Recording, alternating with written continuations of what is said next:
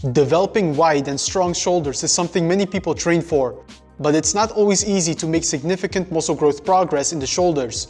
What type of shoulder exercises should you do and how much shoulder training do you need?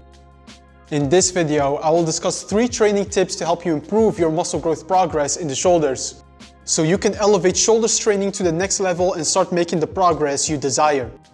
The shoulder muscle, also known as the deltoid, can be divided into three regions your front, side, and rear deltoid. The front deltoid is responsible for shoulder flexion, which occurs when you raise your arms to the front. The side delt is responsible for vertical shoulder abduction, which is raising your arms to the side, while the rear deltoid is responsible for horizontal shoulder abduction, and that refers to raising your arms back. In order to have wide and well-developed shoulders, we need to target every head of the shoulders.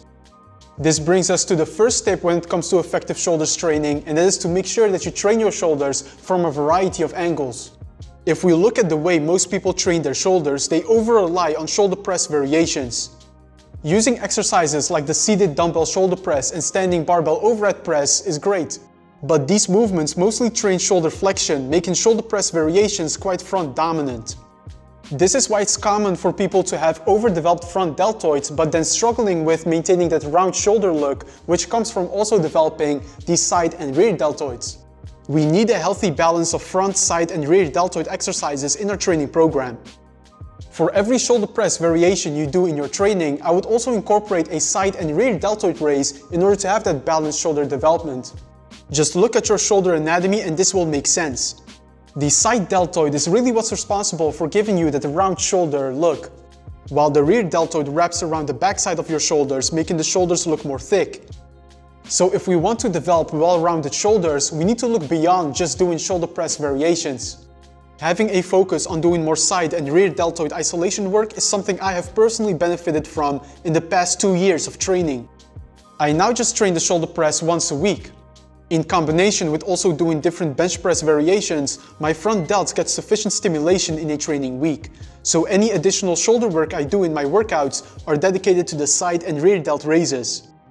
To give you an idea of how this looks in a structured training program, see the following example.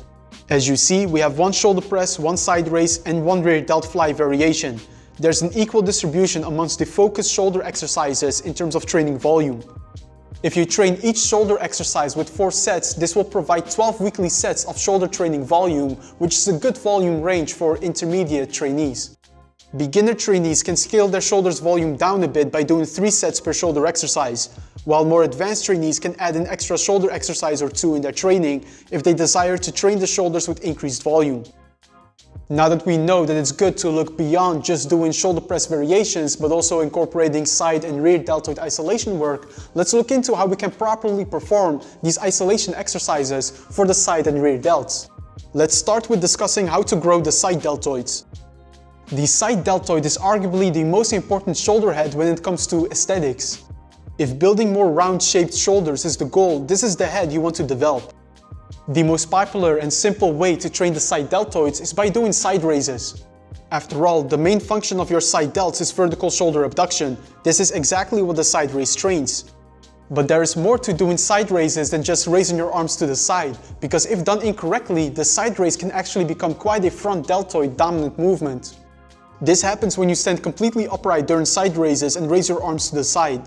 The resistance will be more aligned with the front fibers of your deltoids, causing the front delts to work harder. With two simple cues, we can make sure that your side deltoids are taking on most of the work during side delt raises.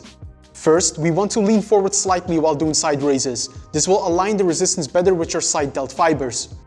Secondly, we want to raise the arms up diagonally in a scapular plane. This places the side delts in a stronger position to contribute to the lift. Another mistake you want to avoid is keeping your arms bent while doing side delt raises. When you bend your arms and do side raises, the resistance is placed more on your rotator cuffs and less on the side delt muscles themselves. We want to keep the arms extended with just a slight bend at the elbow to make sure your side deltoids are actually taking on the work. If done properly, the side delt raise will provide excellent benefits for developing wider shoulders. Now, up to the third training tip, which is about isolating the rear deltoids effectively. We also want to focus on targeted rear deltoid work to help us further enhance this area. The rear deltoids also get some stimulation in most of your back exercises. The main function of the rear delts is horizontal shoulder abduction. This gets strained during row variations as well. So whenever you train a cable or barbell row, your rear deltoids will get stimulated as well. Especially row variations in which you keep the elbow slightly flared, there will be good resistance placed on the rear delts. But still, additional rear delt isolation work is beneficial if optimizing rear deltoid development is the goal. A simple way you can train the rear delts is through a traditional rear delt fly. It's common for people to focus on protracting and retracting the scapula during rear delt flies. But we actually want to have little movement in the shoulder blades to prevent the strong upper back muscles from taking over the movement. The rear deltoid attaches to the spine of the scapula, but it does not attach all the way back to the midline of your body. So you don't get an extra rear deltoid training benefit by squeezing your shoulder blades.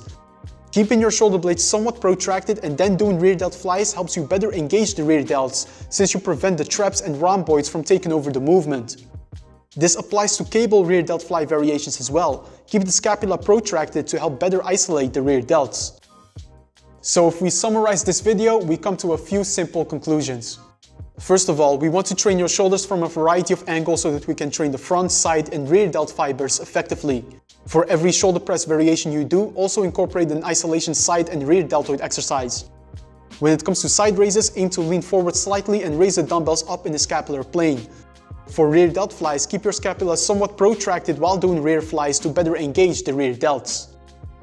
And that was all for today's video. I hope you now have a better understanding of how you can go about your shoulders training. As always, if you have any questions, feel free to leave them in the comments below. Also, if you found this video helpful, then leave me a thumbs up, subscribe to the channel if you haven't yet, and I will see you in that next video.